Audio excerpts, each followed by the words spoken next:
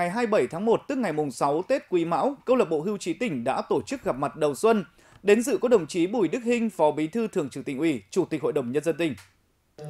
Phát biểu tại buổi gặp mặt, đồng chí Phó Bí thư Thường trực tỉnh ủy gửi lời chúc mừng năm mới an khang thịnh vượng đến toàn thể hội viên và gia đình, đồng thời thông báo khái quát tình hình kinh tế xã hội, quốc phòng an ninh của tỉnh trong năm 2022.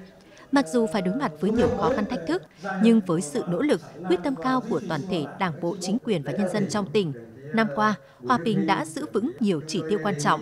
trong thành công chung ấy có sự đóng góp tích cực của hội viên câu lạc bộ hưu trí tỉnh. Đồng chí Phó Bí thư Thường trực tỉnh ủy mong muốn thời gian tới, các hội viên câu lạc bộ hưu trí tỉnh tiếp tục phát huy trí tuệ, tâm huyết, có những đề xuất giải pháp để đồng hành cùng Đảng bộ và nhân dân trong tỉnh hoàn thành tốt nhiệm vụ năm 2023 và những năm tiếp theo, đưa quê hương Hòa Bình phát triển nhanh và bền vững.